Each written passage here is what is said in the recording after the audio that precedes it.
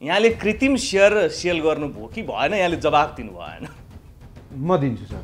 मैले कृत्रिम हुँदै नभएको सेयर चाहिँ बिक्री गरिनँ कहिले पनि। तर अघिल्लो दिन किनेको सेयर चाहिँ भोलिपल्ट मैले बिक्री गरेँ। खातामा नआउँदा यहाँले पनि बेच्नुभयो। हामी मलाई बिक्री गर्ने विक्रेताले उसले मलाई दिन सकेन भने उसले क्लोज आउट बापत जो जरिवाना तिर्छ।